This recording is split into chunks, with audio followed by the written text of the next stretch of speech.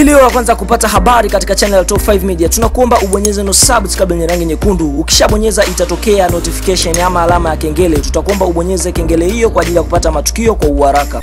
Barabara kabisa, moja kati ya mchezo mkubwa ambao unasubiriwa na wadau wengi wa soka nchini Tanzania. Kwa sasa tunaweza kusema tunahesabu masaa kadhaa, kisha tutakwenda kulishuhudia pambano ambalo litaweka historia katika nchi ya Afrika Kusini, ambapo mtanange huu utaikutanisha timu ya soka ya Simba Sports Club dhidi ya klabu ya Kaizer Chief kutokea kule katika nchi ya South Africa, na kwa upande mwingine tunaona kuelekea katika mchezo huu kila timu zimeweza kujipanga. Ndiyo maana kikosi cha Simba Sports Club kiliweza kuwasili mapema tu eh, Johannesburg kwa ajili ya kufanya preparation zile za mchezo huu, na siku ya leo tumeweza kuvishuhudia vikosi vyote eh, viliweza kupimwa corona, na baada ya hapo tayari kwa ajili ya kuweza kumenyana siku ya kesho katika moja ya uwanja machachari, ambapo uwanja huo eh, ulitumika kuchezea fainali ya kombe la dunia mwaka 2010 ambapo tuliweza kushuhudia fainali ya kibabe Hispaniola eh, waliweza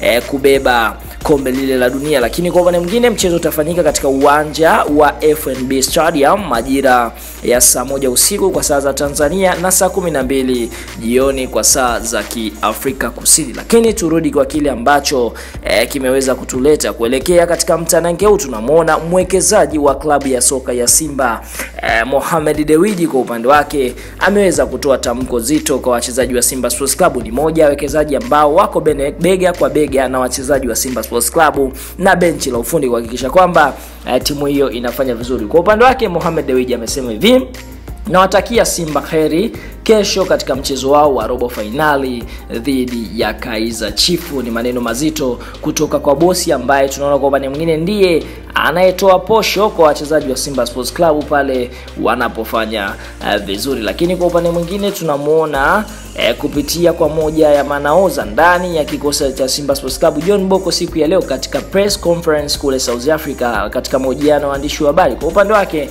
ameweza kuzungumzia mchezo huu na kusema kwamba wapo tayari, wameweza kufanya mazoezi tangu walipofika Afrika Kusini na maendeleo ya e, kikosi ni mazuri na wapo tayari kwa mchezo wa kesho. Wanachokitaka tu ni Watanzania na mashabiki ambao wapo kule South Africa, basi kuwaombea e, kwa Mwenyezi Mungu ili waweze kufanya vizuri, na wanaamini kwamba mchezo utakuwa mgumu, na wanaheshimu wapinzani wao ni wazuri e, na wana uzoefu kwenye mashindano, lakini kwa upande wao wanaamini kwamba siku ya kesho watapata ushindi dhidi ya Kaizer Chiefs. Ni maneno mazito kutoka kwa team captain John Boko, moja ya makapteni ambao tunaona wanafanya vizuri ndani ya kikosi cha Simba Sports Club. Lakini kwa upande mwingine kocha mkuu DJ Gomez, Diego Mendes da Rosa kwa upande wake naye ameweza kuzungumzia mchezo huo na kusema kwamba hii ni ligi ya mabingwa, tunatarajia mchezo mgumu kesho, hasa sababu tupo ugenini, lakini hatutaki eh, kuzuiliwa. Maneno mazito ya maneno ya kibabe kutoka kwa kocha, lakini anasema hivi,